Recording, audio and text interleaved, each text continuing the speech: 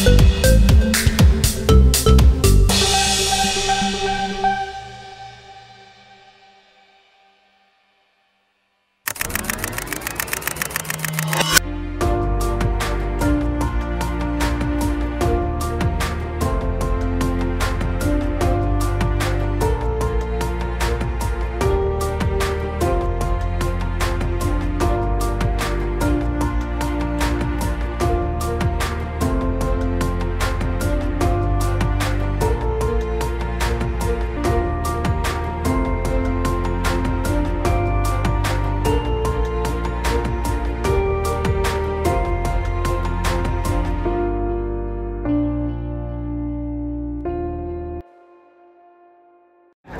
selamat atas hari ini sudah you, melaksanakan hijab kabul seperti apa tadi terharunya dan lancar. Mas Ade bisa jelaskan hari ini.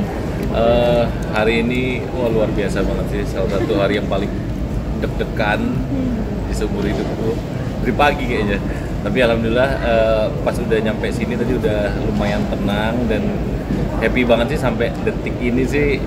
Eh, semuanya lancar dan aku juga disaksikan Mas Adri yang itu orang yang sangat berjasa buat karirku Terus tadi Ustadz Wijayanto juga lucu banget dan terlebih aku akhirnya bisa mencapai ijab kabul yang lancar terhadap ini Mas kalau boleh tahu tadi mas kawinnya sendiri itu eh, dengan eh, ada ada arti makna tersendiri ya sih?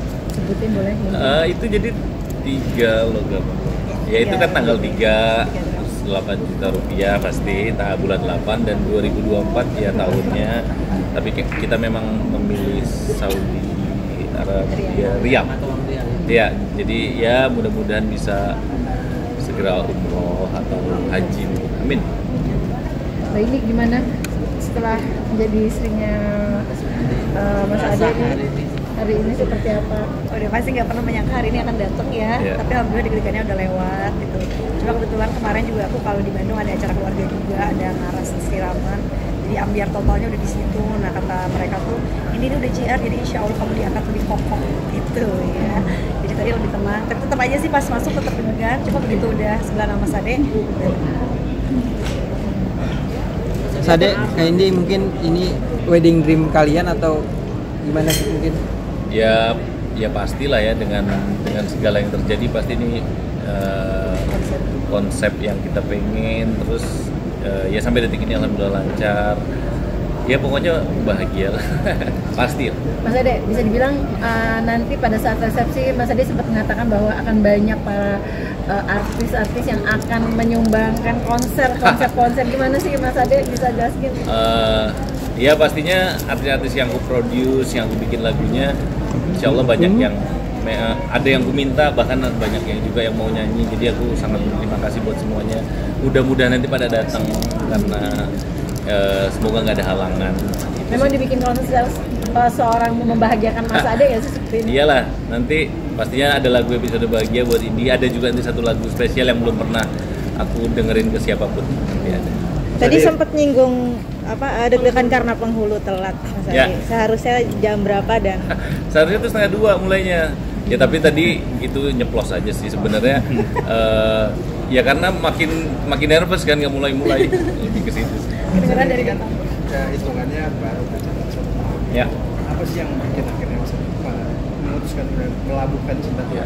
ya sebenarnya kalau kenal Indi udah dari 2020 eh, Juli ya? Eh Agustus. Terus pas Agustus. promo apa Uh, jadi memang sebenarnya udah kenal lama tapi memang akhirnya deket lagi dan ngobrol serius dan hubungan yang seriusnya mulainya tahun lalu Agustus pas setahun yang lalu. Gitu. Mas Ini Adi, dia- ada nikah di usia 40 tahun mungkin uh, perjalanan nikahnya seperti apa sih sampai menikah saat ini? Iya. Ya menurutku sih uh, memang menikah itu gak gampang harus harus ketemu orang yang tepat, orang yang cocok diajak ngobrol, orang yang tepat diajak tukar pikiran itu penting banget menurutku. Jadi bukan cuma iya iya atau enggak enggak, tapi memang memang semuanya itu diomongin bisa bisa jadi ide, bisa jadi apa pun lah dari di kedua belah pihak ya. Maksudnya itu penting banget dan akhirnya aku menemuin itu di Dan berbeda usianya sampai itu 9 tahun. 9 tahun. Ya. Ini seperti apa mungkin adaptasinya sama Mas Adi mungkin beda usianya cukup sama aja sih sebetulnya sama aja kayak teman sebaya gitu. Karena kan sebetulnya ketemunya pas udah dua dua dewasa ya bukan kayak Mas Ade 40 tapi akunya masih 15 tahun gitu. Ini akunya juga udah hampir kepala tiga waktu awal-awal ketemu gitu. Jadi memang aku ngeliatnya Mas Ade pasti udah mature. Dan aku tuh dari dulu pasti punya goals kalau aku menikah aku harus udah selesai sama diriku sendiri. Udah selesai apa yang aku mau kejar udah puas lah main udah juga udah cukup gitu. Sama Mas Ade juga aku melihatnya begitu. Dia juga pasti udah selesai dengan apa yang dicita-citakan. Mungkin at least setengah dari atau 70% dari yang dicita-citakan tuh udah jalan gitu. Jadi biasanya kalau orang yang udah selesai sama dirinya sendiri dia pasti bisa saling give back to each other Mas Ade di tengah kesibukan Upin dan Ya, luangkan waktu nggak sih untuk libur dulu atau tidak ada. Itu manajer ntar marah. Eh, Enggak, aku udah sih, udah bilang sih eh, mau memang mau honeymoon tapi ya memang nggak nggak deket ini banget ya mungkin bulan depan. Iya, iya.